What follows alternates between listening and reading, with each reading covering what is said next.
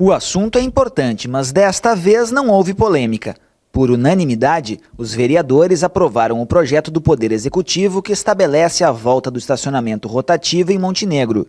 O chefe de gabinete da prefeitura acompanhou a votação de perto e defendeu a aprovação. Nós precisamos é, normalizar o trânsito. Nós já fizemos algumas ações ali para humanizar o trânsito e isso vem para corroborar, porque essas vagas de estacionamento elas têm que ser é, pautadas pelo regulamento e hoje está sem, sem isso. Né? Então o estacionamento rotativo é, é necessário. Isso em qualquer cidade de médio e grande porte hoje é essencial. Nem mesmo a oposição criou obstáculos para a aprovação da matéria. Com certeza, todo projeto bom para a comunidade, nós sempre vamos votar favoráveis.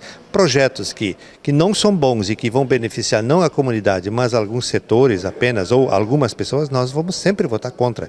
Mas, na verdade, o que nós estamos aprovando esta noite é autorizando o Executivo Municipal a, o estacionamento rotativo, a implantar o estacionamento rotativo na nossa cidade. Evidentemente que nós vamos fiscalizar, nós vamos cuidar para que seja um estacionamento rotativo realmente de qualidade e que a população seja beneficiada. Agora, a lei será regulamentada pelo prefeito por decreto em um prazo de 15 dias.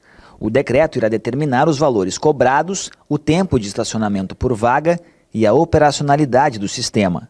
O que já está definido segundo o documento enviado pela Prefeitura aos vereadores são os locais onde haverá a cobrança.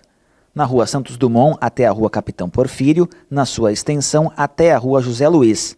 Na José Luiz, será da rua Capitão Porfírio até a João Pessoa.